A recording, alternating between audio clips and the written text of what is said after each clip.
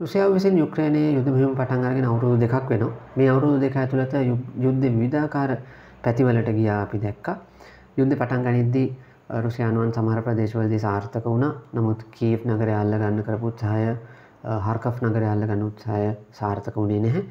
ඉතින් ඒ ගැන කිව්වොත් අපි දන්නවා යුක්‍රේනය වගේ ලොකු රටක යුද්ධ කරන්න තරම් ප්‍රමාණවත් ඇත්තරම් අපිට මටනම් පිනිච් විදිට ඒ ප්‍රමාණවත් සැපයුම් මාර්ග හදාගෙන ප්‍රමාණවත් හමුදායකතු කරගෙන නෙමේ ඒගොල්ල මේ ප්‍රහාරය ආරම්භ කරේ.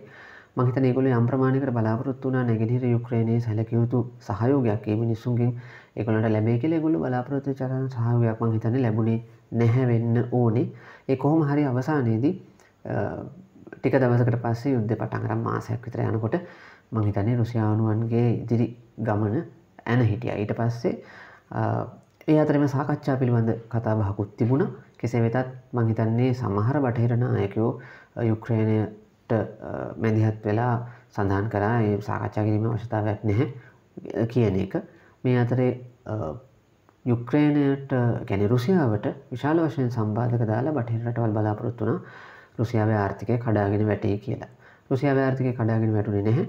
ඒවගේම යුද්ධ දිගටම ඇදීගෙන ගිය ඉට පස සැප්තැම්බර් මාසිදි දහස් විසි දෙකේම සැප්තැම්බර් මාසිදි ආපව යුක්‍රේණයානුවට බලාපොරොත්තුවක් ඇති වුණ හර්කෆ් ප්‍රදේශයෙන් යුක්‍රේණය සැලකයුතු ජයග්‍රහණයක් ලබාගත්තා ප්‍රදේශ ගණනාවක් රුසියානුවන්ට අහිමි වුණ. නමුත් ඊට පස්සේ ආය ෆ්‍රන්ට් එක ටිකකට එක තැන නතර වුණ. ඊට පස්සේ ඒ අවුරුද්ධම ඊට සතිකීපයකට පස්සේ හර්සොන් නගරයෙන් රුසියානුවන් පසු බැස්ස. එතකොටත් ලොකු ජයග්‍රහණයක් බලාපොරොත්තු වුණා හැබැයි ඊට පස්සේ ෆ්‍රන්ට් එක බොහෝ දුරට එක තැන නැවතුණා. දෙදහස් විසි තුන අවුරුද්දේ කතා බහි වැඩිහරියක් කතා වුණේ යුක්‍රේණයානුවන් විසින් එල්ල කරන ප්‍රතිප්‍රහාරය ඒ ප්‍රතිප්‍රහාරය අසාර්ථක වෙලා අන්තිවල නට්ටන් වෙලා ගිය. ඒ නානතුරුව මේ වෙද්දි අවදීප්කා නගරය දැන්ටික දවසට කලින් රුසියානුවන අතර පත්වීමත් එක්ක අප හැන්ඩ එක රුසියාව පැතර ගිහිල්ල තියෙන යුක්‍රේණය පිරිස් හිගේ සහ ආයුධ හිගේ හින්දා දැඩි ප්‍රශ්නයකට මුහුණ දීලා ඉන්න. දැන් මොකක්ද මීළඟට වෙන්න සහ යුක්්‍රේණයට දිනන්න නම් මොනවද අවශ්‍ය වෙන්නේ. රුසියාව පැත්තෙන් ගත්තොත් අෆ්තීප්කා නගර අල්ලගතර පස්සේ ගොල්ලන් ඒ පැත්තෙන් උතුරුදිගට ක්‍රමතොර්ස්ක් ප්‍රදේශයට යන්න ඉඩ තියෙනවා කුපියන්ස්ක් පැත්ත තවත් උතුරට වෙන්නට තියෙන නගරයක් කුපියන්ස්ක් පැත්තේ මෙහෙයුම් ඉස්සරහට දියත් වෙන්න ඉඩ තියෙනවා ඉට පස්සේ අප්තිීප් කවලින් දන් දකුණට දකුණේ දම් උතුරට යන අයයි කුපියන්ස්ක් පැත්තෙන් උතුරේ දන් දකුණට එන හමුදායි ක්‍රමතොරස්ක ප්‍රදේශයේදී එකතු වෙන්න ඉඩ තියෙනවා. එහෙම වනොත් ඒගොල් ඒ පලාත එකැන් දන්නේත්ක පලාත සම්පූර්ණයෙන්ම රුසියානුවන් අතර පත්වෙන්න ඉඩ තියෙන මේකම අද හෙට වෙනවා කියන එකම නෙමෙයි නමුත් දැන් තියෙන තත්වය හැටියට යුක්්‍රේණයානුවන්ට තියෙන අභි බලය සහ පිරිස් බලය පිළිබඳ ප්‍රශ්න හින්ද. යම්කිසි වෙලාවක ෆ්‍රන්ට් එක කඩාගෙන යන්න රුසියානුවන්ට පුළුවන් වුණොත් මේක ඉක්මනින් වෙන්න පුළුවන්. මේ අතර යුක්‍රේණයට අවශ්‍ය දේවල් මොනවද කියලා අපි කතා කරොත් එහෙම පළවෙනි කාරණේ කාලතුවක්කු උණ්ඩ අවශ්‍යයි. දෙවැනි කාරණේ ඒ කියන්නේ මේ මිලිටරි උපකරණ සහ උපාංග අභියායුධ ගත්තම පළවෙනිම කාලතුවක්කු උණ්ඩ අවශ්‍යයි. දෙවනියට ගුවන් යානානාශක අවි අවශ්‍යයි. මොකද රුසියානු ගුවන් යානා වලින් එල්ල වෙන ප්‍රහාර විශේෂෙන්ම යුක්‍රේණයන් වලට තර්ජනයක් වෙලා තියෙනවා. ගොඩ බිම ඉන්න හමුදාවන් වලට තුන්වෙනි කාරණේ ගුවන් බලය අවශ්‍යයි. එතකොට පළවෙනි කාරණේ කාලතුවක්කු උන්ඩ තාම ප්‍රමාණවත් තරමින් ලැබෙන බවක් පේන්නේ දෙවැනි කාරණේ ගුවන් යානානාශක අවි ඒකේ තඩුවක් තියෙනවා. මං හිතන්නේ පේට්‍රියට් වගේ සිස්ටම්ස් තියෙනවා. නමුත් ඒවට ඇති තරම් මිසයිල නැහැ.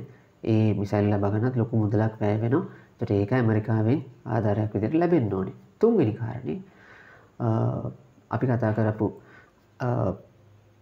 ගුවන් යාන පිළිබඳ කාරණය ගත්තම F16 ගුවන් යාන දෙනවයි කියලා කියලා තියෙන නමුත් කවද ලැබේද දන්න ඒවගේම ඒව කොච්චර සාර්ථක වේද කියන්න බැහැ. ඉති ඔය වගේ තත්වයක් ඇතේ යුක්්‍රණය ටික් අපහසු තත්වයක ඉන්න මේ වෙලාවේ.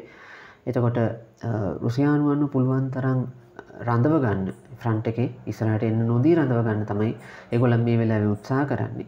ඉතින් මේ වෙනකං අවතිකා වැටුණු ගමන් ෆ්‍රන්ට් එක කඩාගෙන යයි කියල සමහරු විශ්වාස කරාවුනාට දැන් පෞගේ දවස් කිහිපය තුළ තාම ඒවගේ දෙයක් අපි දකින්න නෑ සමර තැන්වලින් ඇතරම රුසියානුවන එල්ලකරු ප්‍රහාරය එච්චරම සාර්ථක වෙලා තිබුණෙත්නය පෞගේ දවස්සල නමුත් නමුත් කොයි වෙලාව හරි ෆ්‍රන්ට් එක කඩාගෙන යන්න ඉඩ තියෙන ඒකට අවශ්‍ය කරන අවි බලය ඒ ආරක්ෂ කරන්න අවශ්‍ය කරන අවි බලය යුක්‍රේණයානුවට ලැබෙන් ඕන. වගේ අනි පැතර පිරිස් බලය.